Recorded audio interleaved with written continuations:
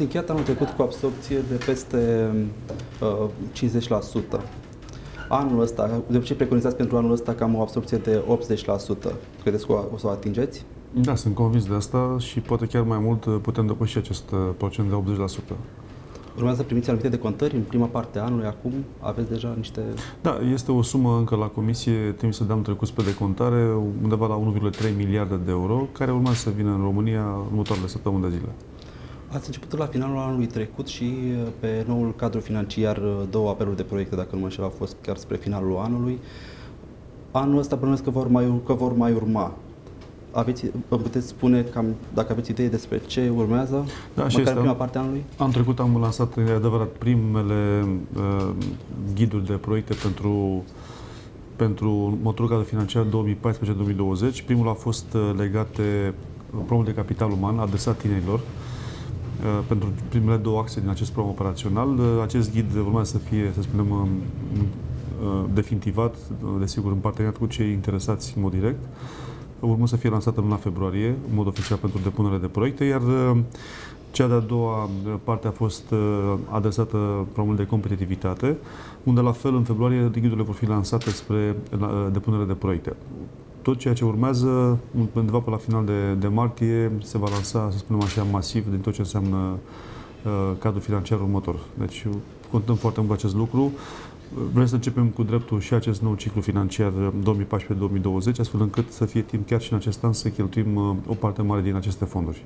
Um, în legătură cu fondurile pe anul, pe următoarea perioadă financiară, pentru anul acesta mai, mai aveți, nu știu cum să spun, niște proiecte deja scrise, făcute, apeluri de proiecte? Pentru actualul cadru financiar? Pentru cel nou, 2014-2020. Bun, noi acum tot ce lansăm, uh, lansăm în așa fel încât să răspundă cerințelor ambelor ciclu financiare. De ce facem asta? Pentru ca în situația în care uh, ideea este să facem cât mai, o absorție cât mai mare pe actualul cadru financiar. Și cum exact. am spus eu, sunt probleme operaționale care pot atinge chiar 100%.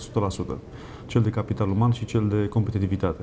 Iar lansarea se va face astfel încât să se răspundă ambelor uh, cicluri financiare, uh, umplem practic cu ce de rambursare actualul cadru financiar, actualele programe de pe actualul cadru financiar, iar ceea ce rămâne se transferă pe următorul ciclu financiar, astfel încât să putem avea, cum am spus, uh, o absorție de 100% pe câteva dintre programele operaționale. Pe celălalt. Dar pe, dar pe cel nou mă interesant special dacă cam cât credeți că o să aveți absorpția pe noul cadru? În, uh, pentru total? Nu, pentru anul, în, la finalul anului deci, acesta. Că să... dacă, de moment ce rulați cu două, da. o, o să aveți da, o da. absorpție da. pe una, una absorpție pe cealaltă. Exact. Uh, bun, dacă mergem în paralel, am spus în primul rând, noi uh, consumăm întreaga finanțare de pe actualul cadru financiar și după aceea diferența rămâne pe următorul cadru. Uh, pentru 2014-2020, clar, obiectivul este de atingerea de 100% absorție fondurilor europene. În primul an, dacă asta, la asta vă referiți, undeva între 5 și 10%. Deci în 2015, undeva între 5 și 10%, ceea ce este foarte mult comparativ cu ceea ce a fost în, la începutul actualei perioade de programare. Dar, uh, dar și pe transporturi, o credeți că o să se, o să se acceseze ceva? Pe transportul și pe mediu o să intre în special pro, uh, proiectele care reprezintă faza a doua a celor proiecte începute în actualul cadru financiar. Pentru că știți foarte bine, este un principiu acum care urmează să fie aplice acelor proiecte care nu sunt uh, gata în actualul cadru financiar. Se încearcă o fazare a acestora, iar aceste uh, uh, faze, uh, partea a doua de implementare, vor fi decontate din următorul cadru financiar. Exact, exact da, da.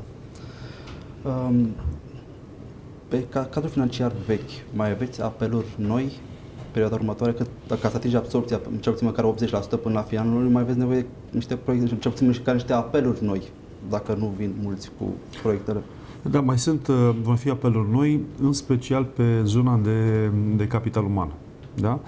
Uh, unde, așa cum uh, o spuneam puțin mai devreme, am lansat chiar zile trecute un apel destinat românilor care trăiesc, locuiesc în afara, în afara granițelor țării noastre un proiect care se va, este pentru consultare publică și care se va lansa, sperăm noi, în februarie, până la finalul lunii februarie, spre depunere de proiecte. Deci vor mai fi astfel de lansări de proiecte în funcție de nevoile de finanțare, de, de, de închidere uh, cât, mai, uh, cât mai sus a actualului cadru financiar.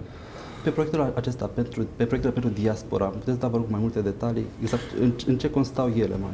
Da, sunt trei uh, acțiuni uh, sau trei zone de acțiune. Este o idee, oricum, o idee mai veche din anul trecut, de prin iunie, uh, am, când, când am lansat-o uh, spre, spre discuții, să spunem, și spuneam, atacă trei, trei zone. Prima, acea, prima ar fi aceea de, prin care doriți să pregătim românii care trăiesc în afară, români care fie sunt șomeri, fie sunt absolvenții unei forme de învățământ acolo unde ei trăiesc, în um, dorința de a ajuta să-și găsească un loc mai bine plătit. Acolo, în țările, m-am spus, în țările de, de, în, care, în care locuiesc de zi. Uh, o a doua finanțare este aceea prin care se acordă până la 755.000 de euro, cam asta este propunerea noastră astăzi, pentru deschiderea unei afaceri. O afacere deschisă în România, pentru că statul român va trebui să impoziteze da. Um, acele activități, dar um, activități care se vor derula în statele uh, membre în care românii noștri, să spunem, uh, trăiesc. Și o a treia zonă, foarte, zic eu, foarte sensibilă și aceasta, este aceea care se adresează copiilor, celor care uh, au plecat la lucru în afară, copii care rămân acasă, fie singuri, fie în cazul mai fericite, cu rude, bunici și, și uh, totuși uh, care nu, nu reușesc să suplinească, uh, desigur, școala sau părinții care sunt plecați la muncă. Și este o idee de școală după școală, un fel de after school, prin care încercăm să evităm această părăsire timpurie a școlii de către copii ai căror părinți sunt plecați în, în, în afară.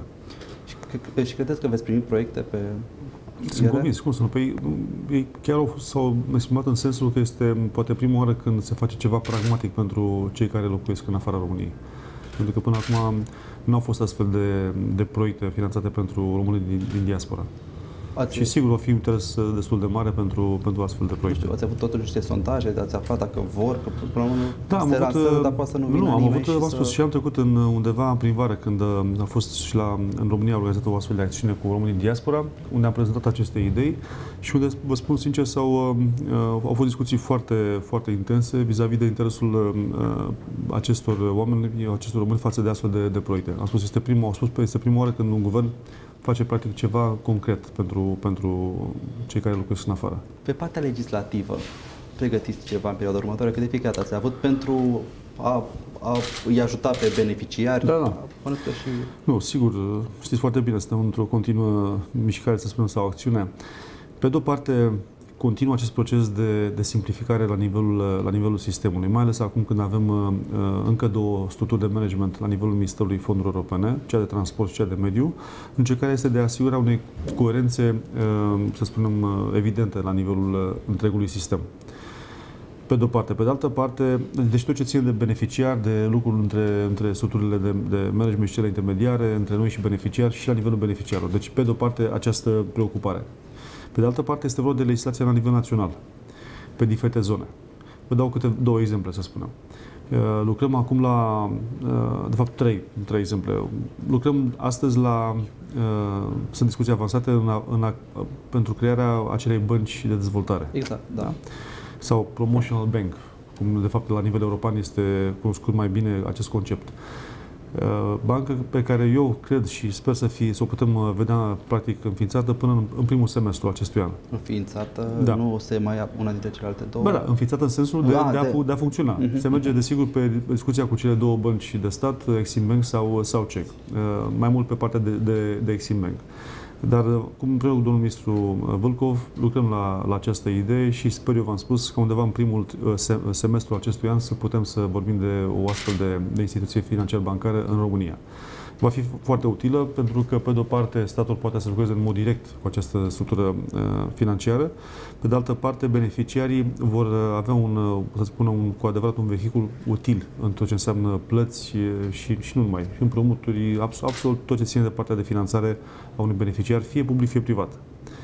O a doua zonă este cea de uh, intenția de a crea un, la nivelul administrație, a unui, crearea unui cont unic deci uh, nu mai punem sumele necesare de luării banilor fondurilor uh, proiectelor europene prin diferite ministere, creăm un singur cont uh, la nivelul Ministerului Finanțelor Publice și care se debitează de cele trei structuri cu rol de management, Ministerul nostru, cel al dezvoltării și cel al agriculturii. Acolo sunt practic toate sume trecute, inclusiv zona de partea de TVA, inclusiv partea de cofinanțare, deci să avem o singură zonă. Iar pe măsură ce el se, să spunem, se utilizează, se mișorează, atunci, știți foarte bine, noi ca minister intrăm lunar, practic, în, în guvern, apro, aproape lunar, cu uh, împrumuturi din trezorerie pentru a realimenta acest, uh, acest cont. Deci este o simplificare radicală a acestui uh, sistem, pentru că vă dați seama, doar dacă ne gândim la ce înseamnă uh, eliminarea birocrației în, uh, în ministere, fel de fel de avize, direcțiile economice care trebuie să dea fel de fel de, în fine, facă fel de fel de documente sau fel de fel de avize să fie acordate pentru orice fel de, de, de plată sau de, de cerere de rambursare. De asemenea, o a treia zonă este cea a achizițiilor publice. Noi, până la final de iunie, în calitatea noastră de coordonator a acestui proces de reformă la nivel național, um, ca minister și persoană în baza unei decizii a primului ministru, avem ca sarcină ca până la final de iunie să punem pe masa guvernului un prim pachet sau un pachet al unui prim draft de acte normative care transpun directivele pe achiziții publice. Așa. Și la nivel național s-a decis că vom avea patru acte normative distincte.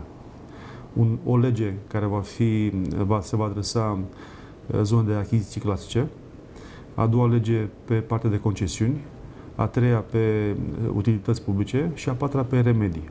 Deci vor fi patru acte distincte, nu, așa, nu unul singur cum este, din păcate, astăzi, greu de înțeles și de aplicat de mai toți uh, cei care sunt implicați în această zonă de achiziții publice. Deci iunie ar fi uh, momentul în care avem un prim draft, iar uh, până la final de an trebuie să fie o consultare publică uh, cu adevărat făcută la nivelul uh, întregii, uh, să zicem, societăți, atât cu partenerii noștri din, din piață, ONG-uri, structuri asociative, cei care sunt implicați în această zonă, Comisia Europeană, Parlament, astfel încât uh, la finalul acestui an să putem trece sau promova de către Parlament uh, aceste patru acte normative, desigur, cum am spus, prin lege și nu prin ordonanță de urgență, astfel încât să putem aplica de la 1 ianuarie 2016 noua legislație pe achiziții publice, o legislație care va fi foarte simplă, mult mai simplă decât ceea ce este astăzi. Pe de o parte, ca am spus, sunt patru acte în loc de unul singur, dar asta nu trebuie să sperie pe nimeni, ci din contră să... Da?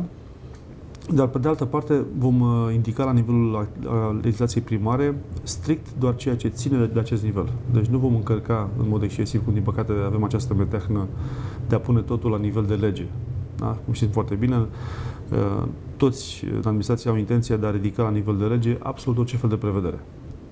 Asta a fost o greșeală pentru că uh, a fost, s-a complicat foarte mult sistemul și sistemul de legislație în, fine, în sine iar orice modificare, vă dați seama, care era necesară, automat creează sau a creat o, o imagine de, de cadru legislativ instabil uh, și cu, mult, cu efecte foarte multe, știm foarte bine, efecte secundare. Deci ăsta este un obiectiv foarte important pentru noi în acest an, să definitivăm tot ce înseamnă reforma în sistemul de achiziții publice, atât partea de sistem instituțional, unde deja lucrăm la unirea celor două entități, ANREMAP și UCEVAP, deci, deci e Agenția Națională de Achiziții Publice Așa. și este acea unitate de la Ministerul de Finanțe care okay. se ocupă cu uh, controlul ex-ante. Cele două nu se mai justifică astăzi independent, să spunem, sau separat, de fapt, activitatea, ci ele trebuie unite într-o structură nouă, modernă, europeană și mult mai suplă ca și activități. Uh, undeva sper eu în februarie să fie acest lucru deja uh, trecut prin, uh, prin guvern, uh, iar după aceea să vedem exact care sunt uh, atribuțiile care se vor uh, stabili pentru noua, noua entitate. Deci, cel puțin trei exemple de, de acțiune în zona de, de legislativ și de, execu- și de instituțional. Mai detaliat, pe partea de achiziții publice simple, nor- normale, ce, ce se va schimba acolo? Achiziții Cele publice. clasice, achiziții publice clasice. Uh, că ați spus că erau practic patru, era prima dintre ele. Da, da, da clasice în sensul de cele care se aplică tuturor. Exact, da. da? Și ce vreau, eram curios ce se schimbă pe partea asta. Bun, aici sunt uh, prevederi uh, ale directivei. Mm, sunt anumite zone care, cel puțin mie mi se par poate, mai, poate puțin chiar mai complicate decât ceea ce este astăzi la nivel de directive europene.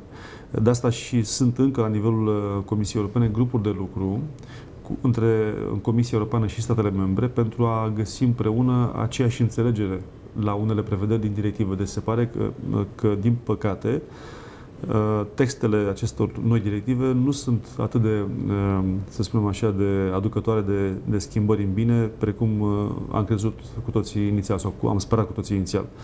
Deci, fie va fi nevoie de chiar de o modificare, o adaptare a acestor noi directive, asta este, fie de a găsi, cum am spus, un, un, o înțelegere comună care, desigur, să nu afecteze sau să nu se abată de la, de la litera uh, acestor, uh, acestor directive.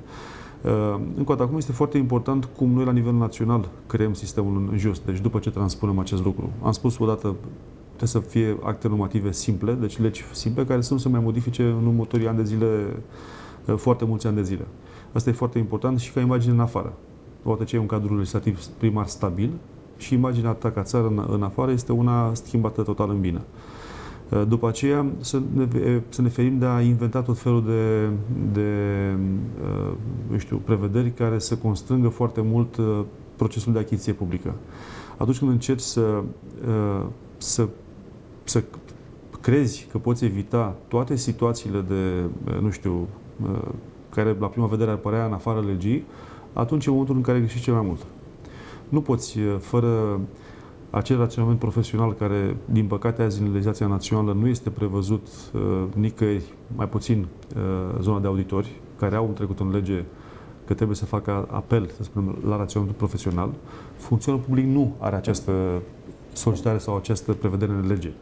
Deci noi trebuie să încercăm să ne, să ne bazăm mai mult pe acest lucru. Ai o legislație simplă, dar nu tot, toate spețele pot fi prinse într-o, într-un hotărâre de guvern sau într-un ordine de ministru. Sunt și act, uh, zone în care tu, bazându-te pe experiența și pregătirea pe care o ai, interpretezi în spiritul, să spunem, de această dată o anumită prevedere sau o anumită speță dintr-un, uh, nu știu, dintr-un contract sau dintr-o, dintr-o procedură de achiziție publică.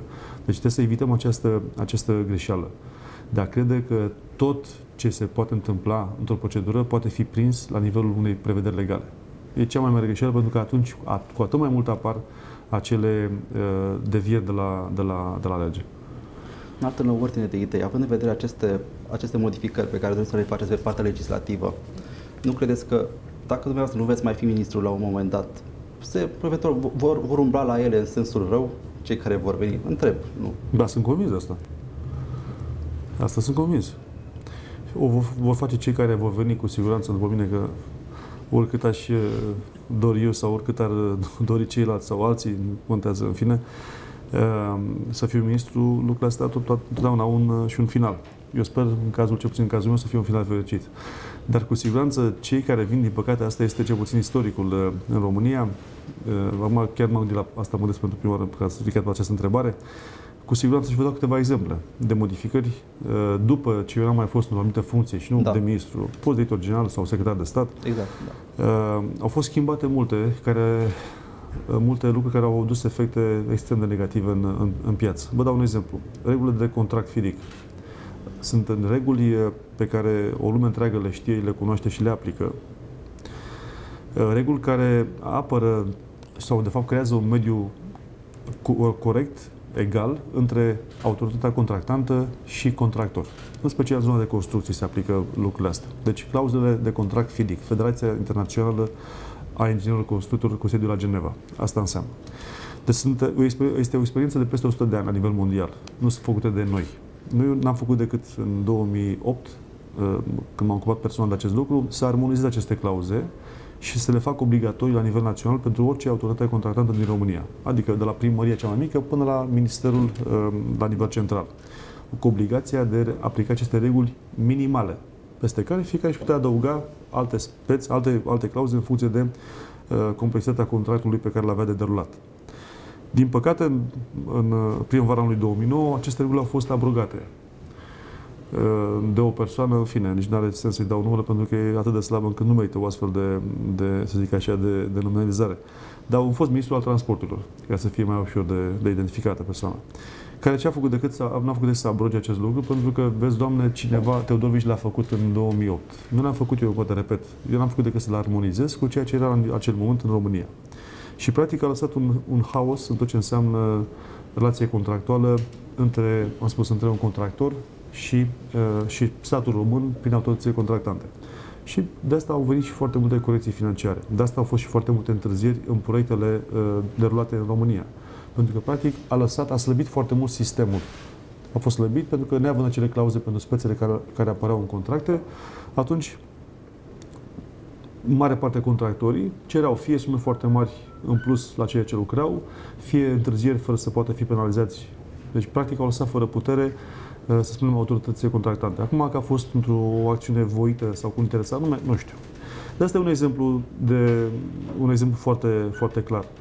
Uh, și multe alte sunt. Din păcate, avem această meteahnă de a strica uh, sau a distruge ceea ce au făcut alții pentru simplu motiv că e un orgoliu exacerbat și nejustificat uh, în acest sens.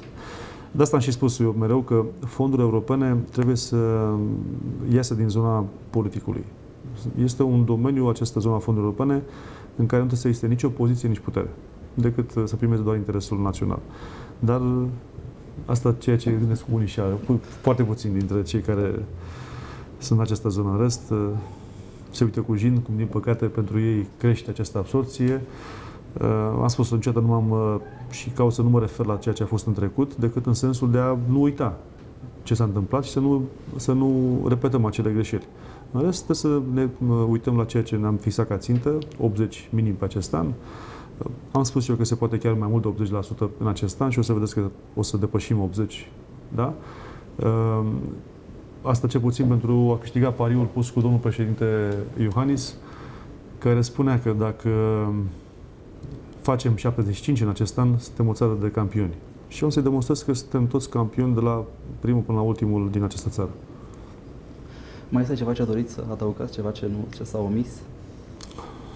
Nu, doar această, această solicitare sau în fine cerințe față de cei care uh, încă mai continuă să creadă că lucrurile nu pot fi așa cum ne-am dorit cu toții. Bucuria mea este că am văzut că din ce în ce mai mulți uh, oameni uh, ușor, ușor încep să creadă în ceea ce spunem ca și obiectiv pe, pe actualul cadru financiar de absorpție. Sunt, au fost foarte mulți sau, sau invers, au fost foarte puțini, dacă, ca să nu zic deloc, cei care credeau că putem depăși 50. Sunt uh, acum uh, mai mulți, uh, totuși și acum cei care cred că putem face 80% în acest an, dar ușor, ușor, asta este um, un obiectiv al meu personal, de a îi convinge pe cât mai mulți asupra faptului că putem, dacă într-adevăr, dacă tragem în aceeași direcție și ne ajutăm unii pe alții, pentru că e o muncă de echipă aici. E pe de-o parte vorba de administrația publică care ar trebui să lucreze din ce în ce mai mult uh, pentru beneficiari, așa cum am spus de la începutul mandatului meu, cât și de cei care implementează beneficiarii, că fără ceea ce fac ei acolo în contracte, facturile nu vin, nu pot fi plătite și automat lucrurile nu stau așa cum ne-am dorit. Deci este vorba de o muncă în echipă. Da? Pe de o parte administrație, pe de altă parte beneficiarii, pe de altă parte opinia publică, media, care este, are rolul de a, să spunem, de a tra- transmite anumite mesaje dintr-o parte în alta pentru a fi ușor, mai ușor uh, înțelese și să acționăm pe măsură. Deci, cam asta ar fi în linii mari. 持ちましょう。持